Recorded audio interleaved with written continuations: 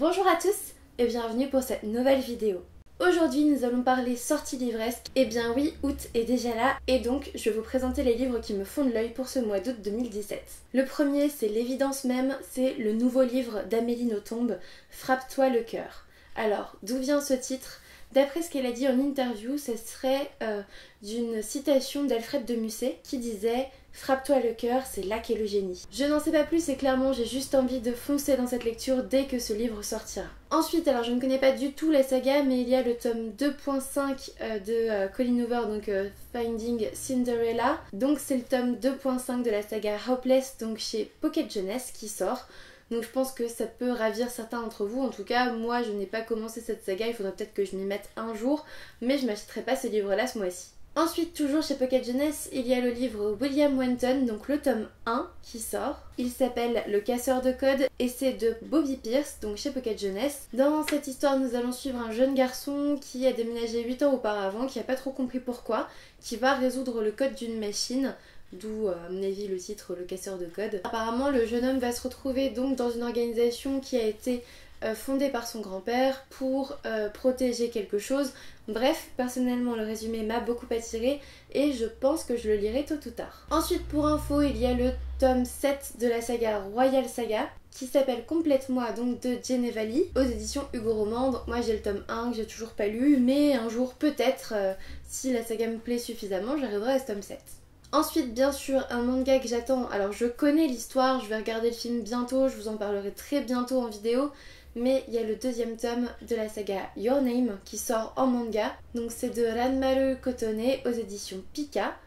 Moi, j'ai le tome 1 déjà, j'ai trouvé la couverture absolument magnifique, j'ai trouvé l'histoire tellement belle qu'il a fallu que je m'achète le roman pour euh, la connaître euh, totalement. Mais je vais quand même continuer la saga manga jusqu'au troisième tome qui sortira en octobre. Ensuite, il y a un, je crois que c'est un shoujo, il y a Don't Worry, Be Happy, le tome 1 qui sort. C'est un manga de Kaori Oshiya aux éditions Akata. C'est l'histoire d'une jeune fille qui vit seule avec sa mère après que son père les ait quittés en leur laissant de lourdes dettes. Elle va se présenter aux élections de délégués, mais elle va être détrônée par un beau jeune homme et donc va être vice-présidente. On va la suivre dans ses péripéties. Je sais pas vraiment si c'est un shoujo, je vous avoue que j'ai pas trop trop regardé, mais il me semble que j'avais vu euh, la pub à la fin d'un shoujo. Donc du coup, je l'avais assimilé à un shoujo.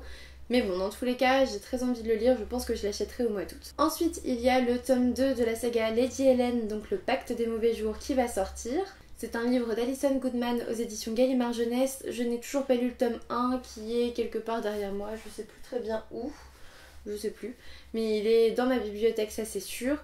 Il faut que je le lise parce que vu que le tome 2 vient de sortir, bah enfin il serait peut-être temps de lire le tome 1 quand même au bout d'un moment. Ensuite, un livre qui, à mon avis, me plairait beaucoup. Il s'appelle Bakita. C'est écrit par Véronique Olmy. Et en gros, ça raconte euh, des faits réels. En fait, ça raconte la véritable histoire de Bakita, qui est décédée en 1947. En gros, c'est une jeune fille qui est née en 1868 qui va connaître euh, l'esclavage qui va être passé de maître en maître puis elle va être placée chez les sœurs elle va devenir religieuse bref vous me connaissez j'adore les grands destins de femmes fortes etc là j'ai l'impression que c'est totalement le cas c'est pas un Charleston je crois que c'est chez Albin Michel il me semble mais voilà enfin ça m'a donné super envie c'est déjà tiré de faits réels et puis enfin on passe par l'esclavage elle devient religieuse à la fin. Enfin, je veux vraiment lire ce livre. Je sais pas si je le lirai tout de suite, mais dans tous les cas, je me le procurerai à un moment ou à un autre. Ensuite, je suis aussi tombée sur la sortie en août de Marie et Bronia, Le Pacte des Sœurs de Natasha Henry aux éditions Albert Michel. En gros, on va suivre là aussi deux destins de femmes fortes. On va suivre Marie et Bronia qui sont sœurs,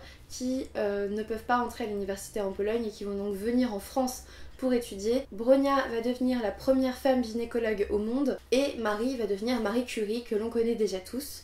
Bref, ça m'attire beaucoup, enfin j'adore ce genre de livre donc je pense que je me le procurerai aussi. Ensuite j'ai repéré le livre 5 centièmes de seconde de Lois Laurie aux éditions Casterman. En gros nous allons suivre une jeune fille qui s'appelle Meg qui a une grande sœur qui s'appelle Molly. Molly elle a tout pour être heureuse, elle est assez pétillante alors que Meg se sent un petit peu en arrière, un petit peu effacée. Sauf que on va diagnostiquer une leucémie chez la grande sœur, donc chez Molly, et euh, Meg va découvrir les joies de la photographie. En même temps, elle va aussi s'allier avec un garçon, bien sûr, je pense qu'il y a un côté romantique, mais bien sûr, euh, le thème prépondérant là-dedans, c'est la perte de sa sœur, c'est le deuil, mais aussi euh, la fin de l'enfance, la, fin de cette insouciance, en fait, de cette innocence. Et du coup, j'ai très envie de découvrir ce livre. Enfin, je vous avais parlé du tome 1 en vidéo, alors n'hésitez pas à aller voir cette vidéo.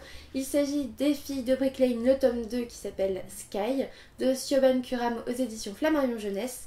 J'avais bien aimé le tome 1, du coup j'ai vraiment hâte de découvrir ce tome 2. On verra ce que ça donne. Cette vidéo est maintenant terminée, je suis sûre qu'il y a plein d'autres sorties de livres qui pourraient vous intéresser, mais moi j'ai noté celle-là pour août. C'est vrai que ça fait des vidéos un peu moins longues, mais en même temps, pendant les vacances d'été, il n'y a pas tant de sorties que ça. Il y en a beaucoup, beaucoup moins. Et puis bon, en plus, la rentrée littéraire, c'est pour bientôt. Donc, je pense que ma vidéo pour les sorties livresques de septembre va être bien plus conséquente. En tout cas, je l'espère. Il ne me reste plus qu'à vous dire à bientôt pour une nouvelle vidéo.